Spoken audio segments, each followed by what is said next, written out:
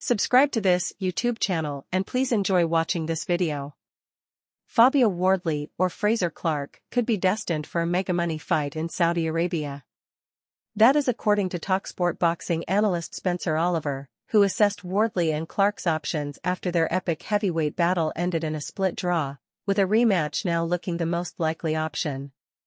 Wardley dropped Big Fraze in the fourth round but was left with his face in a complete mess by the final bell, after being forced to survive with a horrific broken nose for several rounds. The winner of any potential sequel will claim the British and Commonwealth titles, and Oliver said during an appearance on TalkSport that he expects the winner to compete in the Saudi Super League. He said, there is a lot going on in Saudi Arabia with the current landscape of the heavyweights. It is all about securing the financial security for your family. That is where all the money is at and all the heavyweights are, it is like a super league out there right now. And I think if we go again with the rematch, the winner puts themselves in that mix in Saudi Arabia. However the former world champion went on to suggest it would be too soon to face either Anthony Joshua or Tyson Fury.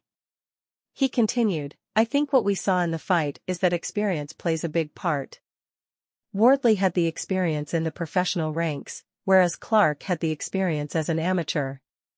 But Wardley was able to weather the storm and come back. But I think Anthony Joshua and Tyson Fury are at that other level, I think it is too soon for them right now. But I think fights like this are an apprenticeship for the biggest fights at the top level, and I think they both proved they are ready for the big fights. The second meeting is unlikely to happen for several months, given the pair were subject to heavy medical assessment after their damaging war. But they could be thrust into a big opportunity next year, particularly given the dynamic of the division since Saudi Arabia have invested heavily in making the biggest showdowns happen. Joshua has yet to secure another fight and was dealt a significant blow in his quest to become a three-time world champion, with Filip Hrgovic and Daniel Dubois likely to fight for the vacant IBF strap in June. AJ is expected to lay in wait for a shot at the winner of Fury's undisputed clash with Alexander Usyk, which is set for May 18. Let us know of what you think about all this in the comment section below and subscribe to this YouTube channel for all the latest news in the world. We sign out.